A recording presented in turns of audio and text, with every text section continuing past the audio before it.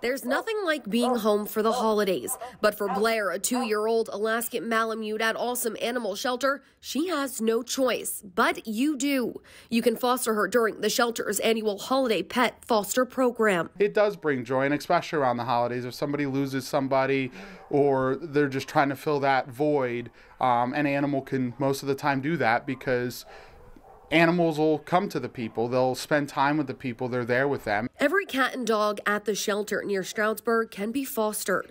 Shelter workers say the program is a win win, helping a pet find a potential new home while giving workers a break. People can fill out an application to bring one of the animals home and be a part of the family for two weeks. The program is free, and the shelter will even help you with some essentials. We do help you with the food, the, the, um, the litter if we need to, the bedding.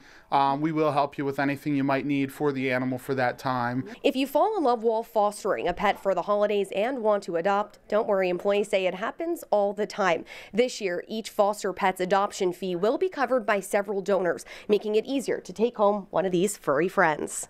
If it doesn't work, then obviously it comes back with no issues. And if it does work out, the hope is is that we get more animals adopted. And then, like I said, we do have um, a bunch of donors that if they do want to adopt at the end, a lot of the cost is cut down because we have all the donors and we have more donors um, signing on to this.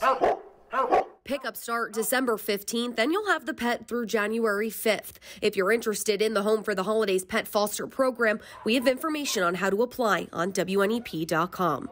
I'm Andy Eustace, Newswatch 16, Monroe County.